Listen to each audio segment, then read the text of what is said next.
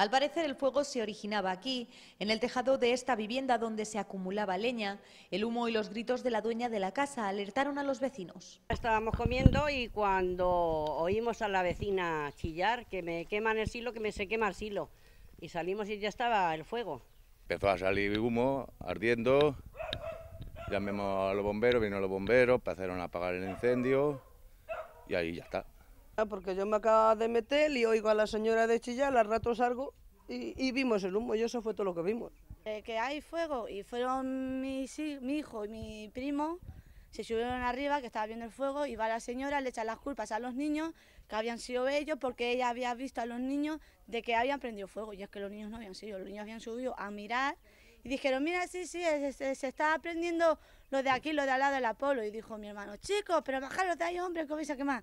Y se bajaron los niños y entonces ya ahí empezó la señora a chillar y todo y echándole las culpas a los niños. El incendio afectó a cinco personas, una de ellas una mujer que sufrió una crisis de ansiedad.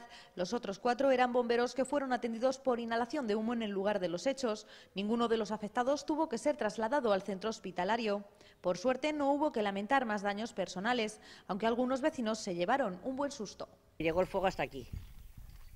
Pasamos miedo porque es que se podía haber liado la, de San Quintín. El fuego se propagó rápidamente por la parte superior de esta escasa arsilo, donde hay vegetación muy seca. Muchísimo, toda la mitad de la parte de arriba y toda de la mitad de la, de la cepa que había en la tiene las mujeres de ahí.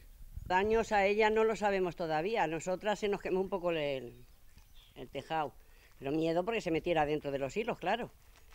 Se ha quemado de aquí hasta, hasta allá. Aún esta mañana se podían ver restos humeantes del incendio y es que las altas temperaturas registradas en las últimas horas son un caldo de cultivo para la proliferación de incendios. La Guardia Civil trabaja ahora en esclarecer las causas que pudieron provocar el fuego.